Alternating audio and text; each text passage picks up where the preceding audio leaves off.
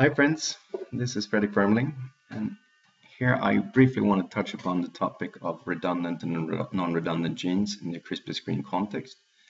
I think this is a concept that most people working in this field are aware of, but it's something that comes up as a discussion topic often, so I wanted to address it. And I'm going to use a ski resort map here as an, as an image to explain this, as you can see.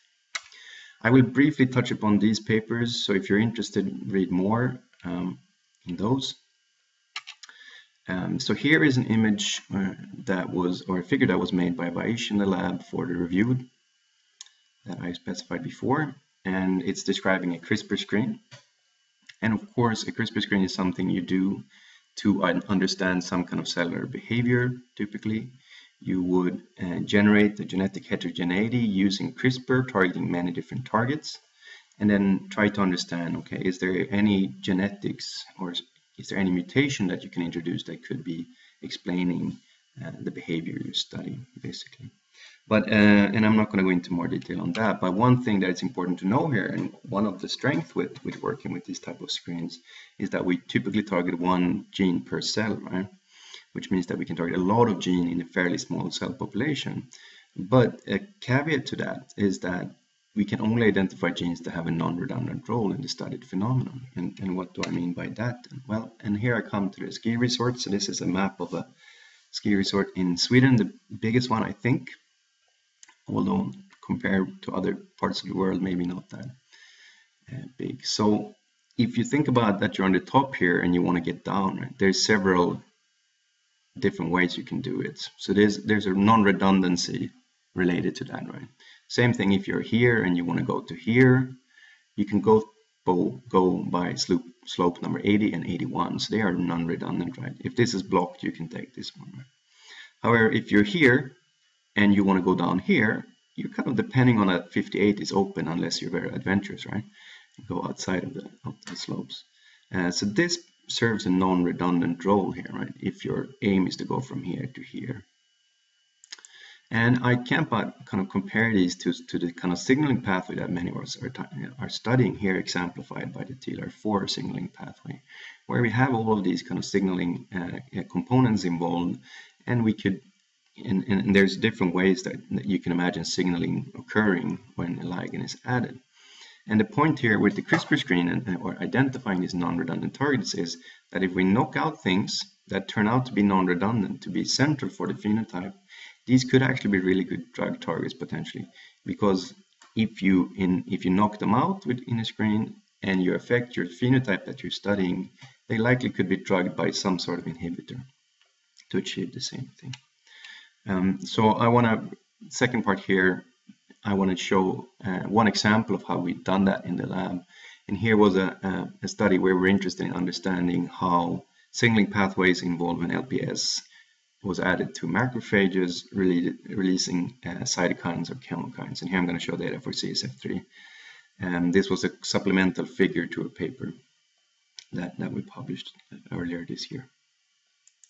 So, uh, so that in the lab uh, approach this um, by uh, targeting several uh, components here, not all of them, but broadly trying to identify the, the broad strokes here, which of these pathways are more important than others. And he generated guide RNAs targeting all of these genes, a custom hypothesis-driven screen. And he uh, infected a macrophage cell line, seeded them one cell per well.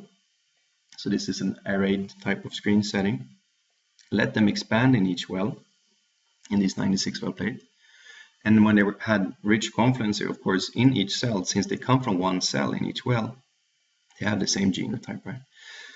Then he added LPS, took supernatant after roughly 24 hours, and did an ELISA for CSF3 secretion. And what he could find was that the cells produced good CSF3 levels robustly after LPS stimulation, but he could find some wells where there was no CSF3 uh, secretion at all. And when he sequenced those guide RNAs, and here we're talking simple Sanger sequencing, so very straightforward approach, he could identify a couple of genes that were, when you knock them out, a couple of guide RNAs that when they're found in the wells, they, they don't, that corresponded to cells not producing CSF3. So MyD88 and IRAK4, part of a complex up here, suggesting that this is the starting point.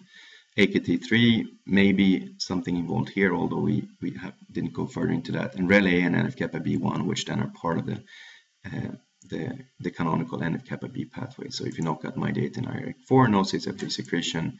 If you knock out P50 and REL-A, so P50 is also the same thing as NF-kappa B1, uh, no CSF3. So you could kind of nicely identify here. Here was a very simple and uh, experiment, but we could start to dissect this very, very nicely. So the conclusions from this is that if multiple proteins or genes can perform a similar task, these genes will likely not be identified in CRISPR screen as they're redundant. So coming into this redundant, non-redundant concept. and this means, of course, in, in uh, that traditional CRISPR screens do not really identify all biology in a studied system because actually when we stimulate the cells here, all of these things are likely going to be firing, right? So if you're interested in exactly what's going on, um, you're not going to find it. But it's going to you're going to find uh, things that are non-redundant, right? As mentioned. If you're interested in, in more bio using CRISPR screens to identify more biology, and uh, we, we talk about that in, in the review I referred to earlier, uh, you can con con consider doing combinatorial screens where you're targeting several genes uh, at the same time. And, and, and the John Doench lab at, at Broad has done some great work on that that you can look into. Um, you can do screens in cells that are deficient in already deficient in particular genes. So if you if you know that one gene could be involved, um, you can knock it out and then perform a screen on that background to see okay is this changing what is going on here. And of course, if you're interested in biology, I think combining CRISPR-A to CRISPR-Cut or CRISPR-I screens, so CRISPR-A of course being activating instead of knocking out or inhibiting um, genes, that, that could really give you increased biological understanding.